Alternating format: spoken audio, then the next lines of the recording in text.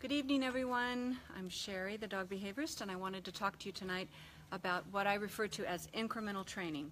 Now, incremental training can be eh, about anything. It just doesn't have to be just about dog training, but it, it can be about the way you basically set up your, your life and your expectations of what you're trying to do and, be, and become better at. So one of the things that I find that um, tends to slip people up is that they ask too much of themselves too soon. So they set a goal that's unattainable or it's just it's not attainable in the time frame that they allow themselves. So I'm, I'm going to show you, um, there's a little dog I have down here at the end of this leash. His name is Elliot and he's adorable. And I deliberately didn't train him today so that I could get sort of a fresh dog to work with. But I want to explain to you how the, the principle of incremental training, uh, from my perspective, works. That I ask for a little at a time from, from a dog, and then I, I celebrate the success each time. Okay? So here's Elliot, and he's just a little a little guy here. Hope you can see him. Hope I have my camera set up right. Do I? Yes, I do. Okay. So as you can see, he has worked on place before.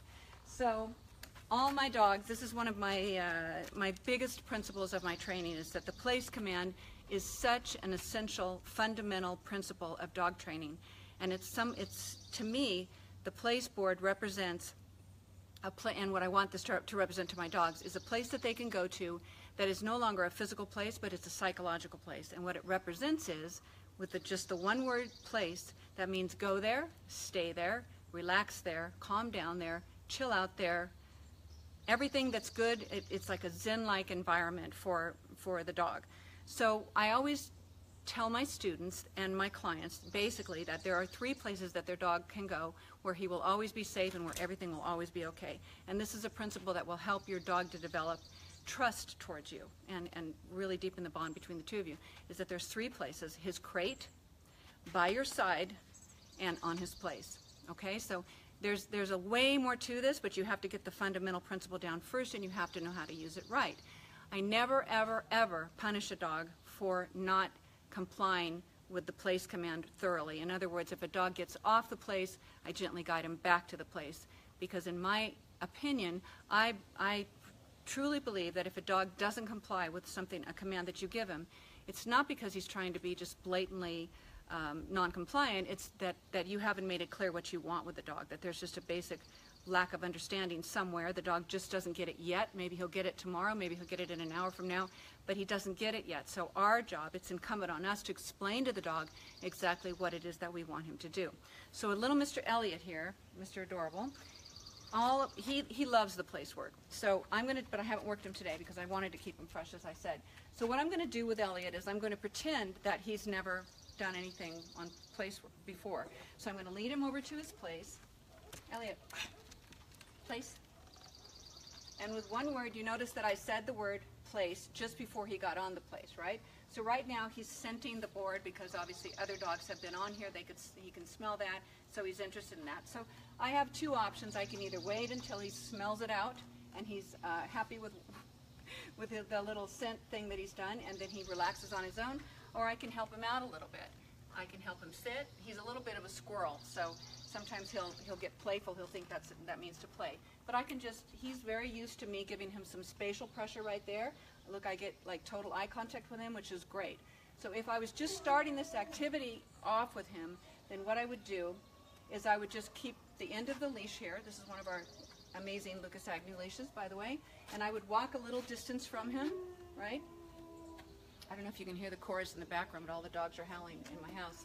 So I'm walking a, a little distance from him and I'm giving him the, the option to break the, the command, right? And if he does, then I'm just going to gently ask him to go back on again. And, and each time that I do this, I vary it a little bit. I spend more time uh, keeping him on here before I ask him to come off or, or allow him to come off. And I also move further away from here. So each time I'm upping the challenge. So let's let's speed this up a little bit and, and make this be like the, uh, a speed course because I can't keep you here all day. So now I'm going to wait until I get eye contact from him right there. I want him to sit again a little bit. There you go. And now when he looks at me, I'm going to go, let's go. So Elliot comes off the place, right? And now I'm going to put him back on again. Place. Now, when I refer to incremental training, What I mean by that is that I'm going to up the challenge each time, but I'm not going to ask too much for myself, okay? As a, as a client or a student or even a trainer, even a trainer, even me, training dogs, I'm, I'm, gonna, I'm not going to ask for too much. And what I'm going to basically do is set myself up and my dog up for success and not failure. So instead of asking for this, this um, exercise to be done 100% perfectly, I'm going to say today, what I want to achieve is I want to achieve 40% perfection with him, okay? So then if I go out and I actually achieve 40%, then I've achieved 100% of what I wanted to get. So that's a, a, huge confidence builder for me and a confidence builder for the dog. So my next step that I'm going to do, and as I said in increments, I'm not going to ask too much for him, especially the first time, because I don't want to work him more than five, six, seven, maximum eight minutes at a time. And for a young dog like this, who's not even a year old, he's maybe 10 months old now, his attention span is short, so I'm not going to ask for too much. But let's say that I'm, I'm what I'm going to do now is I'm going to drop the leash and I'm going to move away, right? So I'm going to move away. I can't get him to do everything that I want him to do for the sake of the video, but let's just say he started to move out. So if he starts, you can tell he's a, he's a little bit uncomfortable. He's not quite sure what I want, but he's not moving off the board. But if he were, if he, this is the only way I can teach this, if he were to move off the board, then what I would do is I would move into him okay? And I would use maybe some sound. There we go. Some sound. I'm not going to use his name, but I'm just going to use some sound and just use some spatial pressure to move into him. And once he gave me what I wanted, including eye contact, which is amazing, I'm going to back off. So I applied some spatial pressure. He yielded to that pressure, and I released the pressure. Pressure, yield, release. Okay, so I'm not going to continue to stand here like this. He's not going to understand what that means, and there will be no real reward for him for complying with what I ask him to do. So what I'm, what I'm going to do then is every day I'm going to ask a little bit more in increments. So next time I do this place work with him, I might step out further. Maybe later on in that day, I'll, I'll after I rest him, I'll take him out again. And this time, um, this time what I'll do is I'll actually put him on the place board and then maybe I'll walk down the road a little bit. So then he'll have even a harder time maintaining his composure and staying on the place. Now another, another thing, this is another trick that you can do that makes it a lot easier for you to um, work with a dog when you're working by yourself. Let's say this is my house. It's the deck in front of my house. But let's say this is my house, and there's my door, which you can't see. But let's just say this is the front door over here, and this is my living room, and I have a dog that's super reactive when people ring the doorbell. And I'm by myself. What am I going to do? I can't be chasing the dog all over the place, and I can't ask, ask my guest to wait for 20 minutes until I get the dog where I want him to be, right? So here's what I did. I've got my place board here, which could also be a pillow, a, a, a, blanket, whatever it is that your dog hangs out on during the day. So this just happens to be a professional place board, which is what a lot of trainers use because it's easy to carry around. It's lightweight and it's up off the ground, so it's, it's a more obvious place for your dog to go to. So let's say that I put him on the place. Elliot, place. And then what I'm going to do is I have another Lucas Agnew lead right here. And what I'm going to do is I'm going to put this lead on him. All right, silly. And what this is going to allow him to do is actually break the command, but not get too far from me. So let's see. Maybe we can get lucky and he'll actually come off the place. Ah, perfect. What a good dog. So now he's partially off, so what am I going to do? Am I going to punish him? No. I'm going to just move into him like that. That's all it took. Because he's sensitive to spatial pressure from me, because that is what I've taught him. When I move into you, I want you to yield, and then I will release the pressure. Okay, so that's, that's how it works in a nutshell. I hope that was some good information that you can use. We're going to do some more things like this uh, later in the week, possibly even tomorrow. I might do another one. The weather's great now, as you can see. Um, so that's what you do. Bottom line is, in everything in life, don't ask too much of yourself.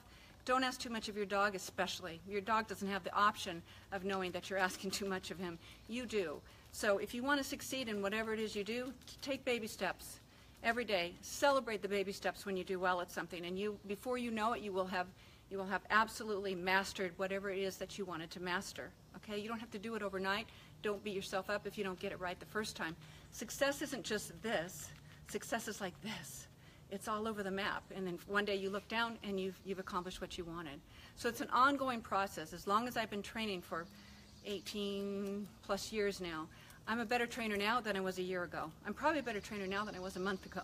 because I have, every time I, I, I train a student or I work with a client, I teach myself more things because I have another dog that I can deal with with a slightly different issue than maybe the dog that I worked with before. So I have to learn, I have to create a strategy for how I work with that dog. So whether you are a civilian dog owner, whether you are a dog trainer, it doesn't matter. Whether you're just somebody that, that deals with dogs in, a, in your work and as a groomer or a dog walker, whatever. Same things apply.